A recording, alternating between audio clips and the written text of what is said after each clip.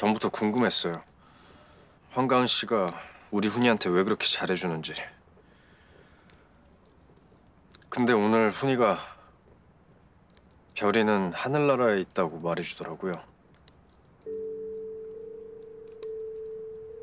최선혁, 별이 당신 아이야. 별이 태명이에요. 태어났다면 훈이랑 같은 나이였죠. 황가은 씨한테 상처 준 남자. 그 남자도 알아요? 당신은 영원히 몰라야 돼. 아니요, 몰라요.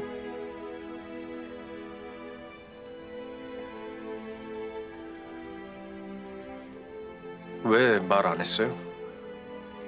그 남자한테 말했으면 황가은 씨 떠나지 않을 수도 있었을 텐데요.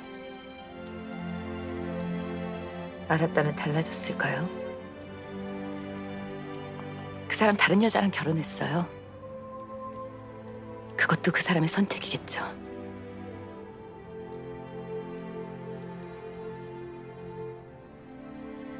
어쩌면 그게 그 사람의 운명인지도 모르겠네요.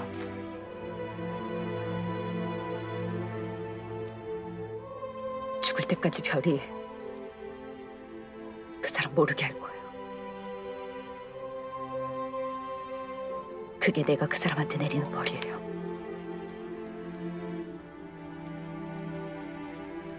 그 사람 아직 못 잊었군요.